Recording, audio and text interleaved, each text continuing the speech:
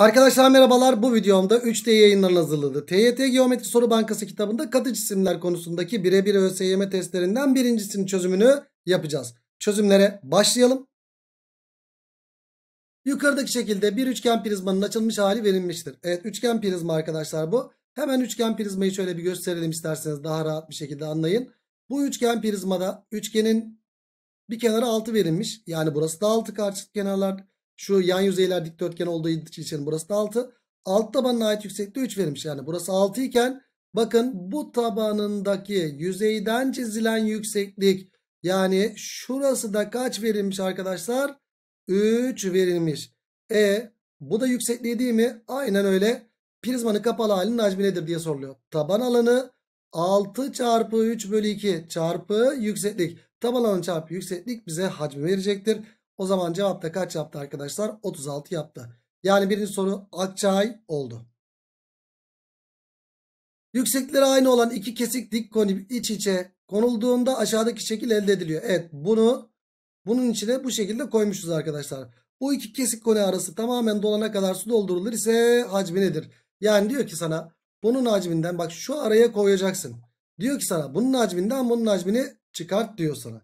E hadi bakalım bulalım. Yüksekleri aynı değil mi bunların? Evet. Hocam bunun hacminde 7 pi vermişler. Kesik konu yap gördüğümüz zaman ne yapıyorduk arkadaşlar? Yukarı doğru tamamlıyorduk. Bunu yukarı doğru tamamladığımız zaman hocam burası 1 burası 2 benzerlik oranı 1 bölü 2 kübü 1 bölü 8 yaptı. E hocam burası V iken tamamı 8V olacak. Yani burası 7V olacak. 7B pi 7 pi eşitse 7V 7 pi eşitse o zaman V'yi kaç buluruz arkadaşlar? Pi olarak buluruz. Arkadaşlar burasının V olduğunu biliyoruz. Ve V P'ye eşitse şuradaki çizilen yüksekliği bulur muyum? Bulurum. Bu arada şu yükseklik de lazım olacak bana. Aynı zamanda burası H e burada da 1 bölü 2 oran varsa e burası H burası da H olmak zorunda mı? Evet. Evet. Hacim dediğimiz V yani pi neye eşit? Şu taban alan çarpı yükseklik bölü 3'e eşit. Pi r kare çarpı h bölü 3'e eşit. Pi'ler gitti. H'ı buradan kaç bulduk arkadaşlar? 3. H 3 ise burası da 3. Burada kesik koninin yüksekliğinde kaç bulduk? 3 bulduk. Bunu da yukarı doğru tamamlayalım arkadaşlar. Bu sefer üçgen 6 burası da. 3 bölü 6 dediğimiz yine 1 bölü 2 değil midir? Yine 1 bölü 2'nin kübü 1 bölü 8'dir. Yani bunun hacmi V iken burası ne olacak? 7V olacak. Peki bu V'yi bulalım. Buna V demeyelim de. Hadi V2 diyelim buna da. Burası da 7V2 olacaktır arkadaşlar. Evet V'yi burada kullandım. E, arkadaşlar şöyle baktığınız zaman 1'e 2 oran var burada. Yükseklikleri de eşit olmak zorunda. Çünkü orta taban çizgisi.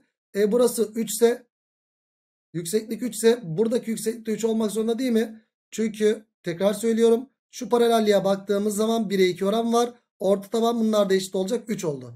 O zaman V2 neye eşittir? Pi r kare çarpı yükseklik 3 bölü 3 eşit değil midir? Ucu sivri olan şekillerde bölü 3'tü. V2'yi 9pi bulduk. Buradan 7V2 kaç çıkar arkadaşlar? 7 kere 9 63 pi olarak bulunur arkadaşlar. Evet bunun hacmi 63 pi. Şöyle siyah kalemle yazayım. Arkadaşlar şunun hacmi 63 pi. E bunun hacmini de biz ne bulduk arkadaşlar? Bunun hacmini de V bulduk. V dediğimizde kaç çıktı arkadaşlar? Pi'di zaten. E, 63 pi'den pi'yi çıkartırsam aradaki boşluğu bulur muyum? Bulurum. Yok. Kesik konunun hacmi 7 pi'di pardon. Şurası 7 pi yazacak olursak 63'ten 7 pi'yi çıkartırsak kaç çıkıyor arkadaşlar? 63 pi yazayım yine de.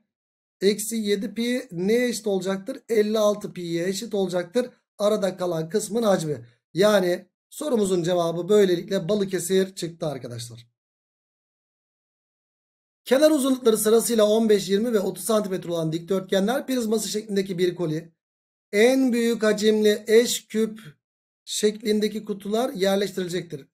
Evet dikdörtgenler prizması şeklindeki bir kolye en büyük hacimli eş küp şeklindeki kutular yerleştirilerek, yerleştirilerek doldurulmak isteniyor. Buna göre en az kaç kutu gerekir? Hemen şunu çizelim arkadaşlar. Çizdik 15, 20, 30. Bunu ne yapacağım arkadaşlar? Eş küplerle dolduracağım. Yani şöyle bir tane küp koyacağım buraya. Bu küpün olabildiğince ne olması lazım arkadaşlar? En büyük olması lazım. Peki buradaki küpün kenarları ne olmak zorunda? Öyle bir x seçmeliyim ki bilmem kaç tane x 15 eşit olmak zorunda. Bilmem kaç tane x 30 eşit olmak zorunda. Bilmem kaç tane x de e, 20'ye eşit olmak zorunda. Yani 30'un 20'nin ve 15'in ortak böleni olmak zorunda mı? Hatta en büyük ortak bölen olmak zorunda mı arkadaşlar? Evet. En azı sorulduğu için. E o zaman 30'un 20'nin ve 15'i ortak bölen bir sayı. Hocam bunların hepsi 5'e bölünüyor. 5'e böldüğünde 6, 4 ve 3 oldu. Başka ortak böleni var mı arkadaşlar? Yok. O zaman bu kübün bir kenarı kaç olacaktır arkadaşlar? 5 olacaktır. E bunun için bunun içine küp koyacağım ya. Kaç tane koyacağımı nasıl bulabilirim arkadaşlar? Sonuçta bu küp burası 5 iken şuraya kaç tane koyabiliyorum arkadaşlar? 3 tane. Buraya 4 tane. Buraya da 6 tane. 3, 4 ve 6'ın çarpımı da diyebilirsiniz. Ya da şöyle de diyebiliriz. Bunun hacmini bunun hacmine böldüğüm zaman kaç tane olduğunu bulabilir miyim? Evet. Evet bunun hacmi nedir? 15 çarpı 20 çarpı 30'u şunun hacmine bölecek olursam yani 5 çarpı 5 çarpı 5'e 5'in kübüne bölecek olursam kaç tane yerleştirildiğinde bulmuş olurum arkadaşlar. Evet sadeleştirmeleri yapalım. 5'e böl 3, 5'e böl 4, 5'e böl 6 mı oldu? E, burası 12 çarpı 6'dan kaç yapıyor arkadaşlar? 72 yapıyor. Dolayısıyla cevabımız böylelikle Balıkesir oldu. Bülent silindiri biçimindeki bir ağaç gövdesini şekildeki aşağıdaki şekilde kesip sarı renkli bölgeye vernik sürüyor. Evet bir silindir varmış önceden böyle büyük bir silindir varmış arkadaşlar. Bunu bu şekilde kesmiş. Hatta daha büyük bir silindir varmış da kestiği yüzeylerde şöyle olmuş. Neyse. Buradan kesmiş böyle bir silindir varmış elimizde arkadaşlar.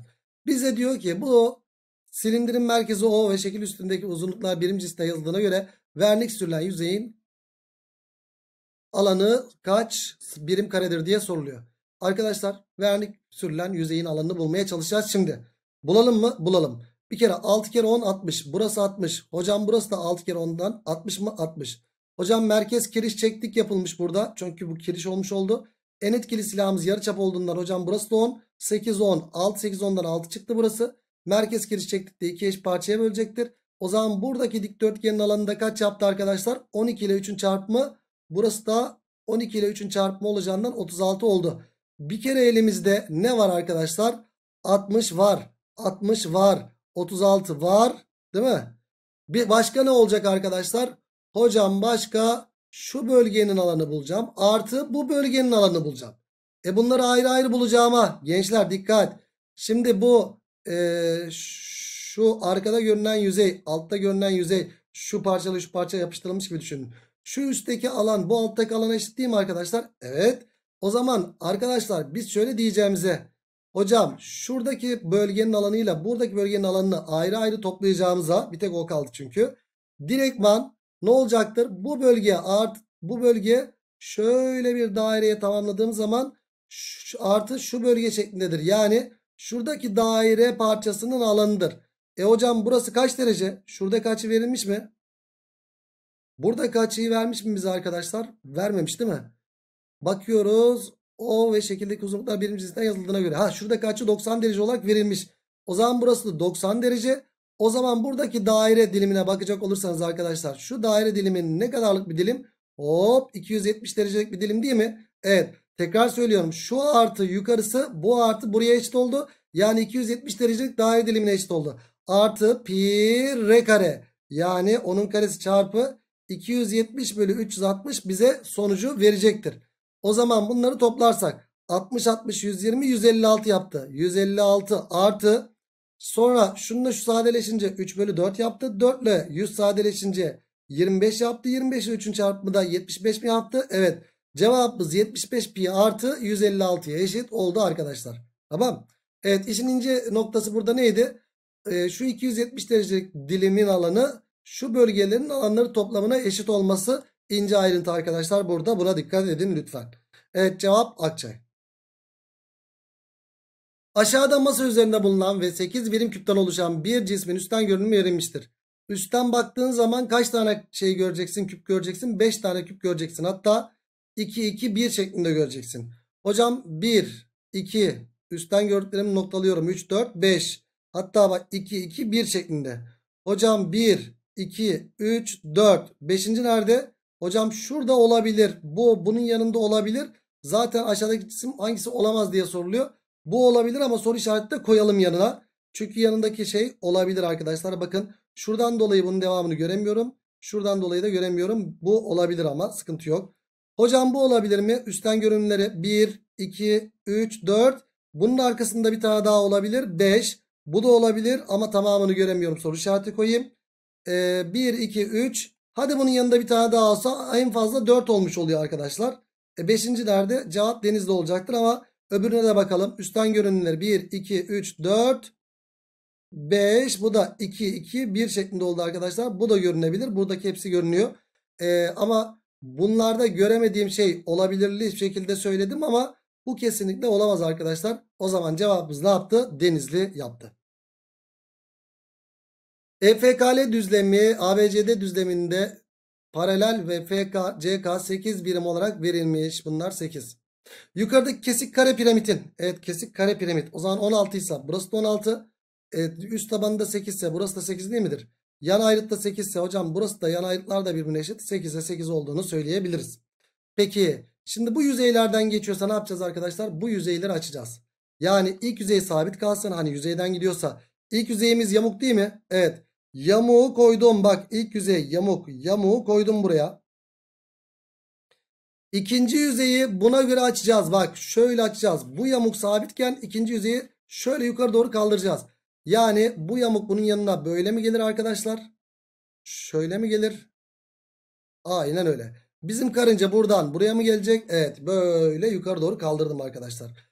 Buradan buraya gelecek. Öncelikle şuradaki yamuğa bakalım mı arkadaşlar? Bakalım. Bu yamukta hocam ikizkenar yamuk olduğu için hop dikmeleri çizsek. Dikmeleri çizdin çizdin. Hocam 8 ise yukarısı aşağısı da 8. E bunun tamamı kaçtı? 16 idi. E, ikizkenar yamukta çizilen dikmeler bunlar iki eş parçaya ayırıyordu. E, buraya da 4 birim 4 birim kaldı. E, burası 8 ise burası 4 oldu. A 90'ın karşısı 8 iken 30'un karşısı 4'tür. Burası 60 çıktı. E, bu 60 60'lık bir yamuk. E, aynı yan yüzeyler aynı olduğundan burası da 60 60'lık bir yamuk oldu. Yani hocam burası 60 derece oldu. Burası da 60 derece oldu. Ve bizden bu uzunluk isteniliyor. E buradaki uzunluklarda 16'ya 16 değil mi? Evet. Ne çıktı burada? 120 ve ikizkenar. E hocam burası 30 burası da 30. 30 30 120 üçgeni çıktı. 16 16 ise burası da 16 kök 3 olur mu gençler? Tabii ki olur. Yani cevap böylelikle Edremit oldu. Ayrıt uzunlukları 6, 5 ve 3 cm olan dikdörtgenler prizmasından yarıçapı 2 cm olan yarım silindir yontur olarak çıkartılıyor. Kalan şeklin hacmi nedir? Ne yapacağız? Tüm şeklin hacminden yarım silindiri çıkartacağız ve yarıçapı kaçmış bunun? 2. E bunun yarıçapı 2 iken yüksekliği kaç? Burası yani 5'tir arkadaşlar. Burası 5 olduğundan dolayı. E o zaman 6, 5 ve 3'ten 6 çarpı 5 çarpı 3'ten neyi çıkartıyoruz? Yarım silindiri. Pi r kare çarpı 5 bölü 2'yi çıkartacağız. Burası kaç çıktı? 90 çıktı. Eksi burası da 10 pi mi oldu arkadaşlar? Evet cevabımız böylelikle Cihan oldu. Aşağıda dik silindir biçiminde verilen havlu kağıdın rulosunun yüksekliği 22 cm. Evet burası 22 cm arkadaşlar. Dış dik dairesel silindirin taban yarıçapı 5,5 cm. Evet şunun tamamı 5,5 cm olarak verilmiş. İç dik dairesel silindirin taban yarıçapı da 2,5 cm. Burası da 2,5 cm olarak verilmiş arkadaşlar. Yukarıdaki verilere göre havlu kağıdın hacmi kaç santimetre küptür diye soruluyor. Arkadaşlar büyük silindirden küçük silindiri ne yapacağız? Çıkartacağız. Evet buranın 22 olduğunu biliyoruz. Büyük silindirden yani pi pi r kare 5.5'un karesi çarpı 22 eksi pi 2.5'un karesi çarpı 22 değil midir arkadaşlar? Evet. O zaman burada pi ve 22 pi çarpı 22 parantezini aldığımızda hocam burada 5.5'un karesi eksi 2.5'un karesi var. Ee, yazalım 5.5'un karesi eksi 2.5'un karesi. 2 kare farkı yok mu burada? Var. Pi çarpı 22 çarpı 5.5 eksi 2.5 5.5 eksi 2.5 artı çarpı 5.5 artı 2.5 şeklinde mi olacak arkadaşlar bu? Evet. Burası farkları ne yaptı? 3. Pi çarpı 22 çarpı 3 çarpı şu ikisinin çarpımı kaç yaptı arkadaşlar? Bu ikisinin toplamı kaç yaptı pardon? 8 yaptı. O zaman kaç yaptı arkadaşlar? Cevap e, 3 kere 2 66 ile 8'in çarpımı yapacak. Yanında çarpayım 66 ile 8'in çarpımı 6 kere 8 48. 48 e, 528 mi yapıyor arkadaşlar? Evet. Cevabımız böylelikle 528 pi olarak bulundu arkadaşlar. Yani cevap Edremit oldu. Şekilde taban merkezi O noktası olan dik silindirin içerisine taban çapı OA olan bir dik koni yerleştirilmiştir. Arkadaşlar bunun yarıçapına koninin yarıçapına RR dersem e, büyüğün yarıçapı 2R oldu. Burası 2R oldu. Yükseklikte H buraya da H diyecek olursak koninin hacmi pi olduğuna göre yani koninin hacmi pi ise şu yüksekliği de bakın H pi R kare çarpı H bölü 3. Ucu sivri olan şekillerde bölü 3'tü. Neye eşitmiş? Pi'ye eşitmiş. Pi'ler gitti. R kare H'ı kaç bulduk? 3 bulduk. Bu dursun. Silindirin hacmi nedir diye soruluyor. Silindirin hacmi de ne olacaktır? Taban alanı pi 2R'nin karesi çarpı yükseklik yani 2H. Yani bu neye eşit oldu? Pi 4R kare çarpı 2H 4R kare çarpı 2H e arkadaşlar biz R kare çarpı H'ı kaç biliyoruz? 3. E burada pi var. Sonra 4 kere 2 8 var. R kare çarpı H da 3 var. O zaman 24 pi mi yaptı cevap? Evet silindirin hacmi kaç pi'dir diye soruluyor. 24 pi'dir. Yani cevabımız böylelikle Denizli çıktı arkadaşlar.